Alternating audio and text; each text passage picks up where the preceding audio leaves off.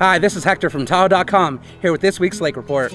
This week I'm coming at you from Fallen Leaf Lake where it's another beautiful, perfect bluebird day and we're expecting awesome weather today and into the rest of the week with a little bit of high temperatures for Lake Tahoe in the upper 80s to low 90s. But that summer weather, it's here. And for events this week, we got a good list, so check it out. Come enjoy the music of James Garner's tribute to Johnny Cash at Valhalla Tahoe on Tuesday, June 15th from 4 to 6.30. Moe's Original Barbecue will be having Peter Joseph Burtt and the King Tide on Friday, June 18th, starting at 5.30.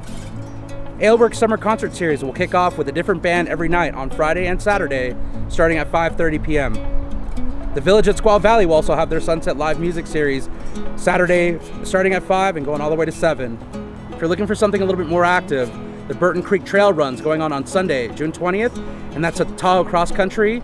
They have a 6K, 12K, and a half marathon, and they also have races for all ages, so don't be afraid to bring the kids.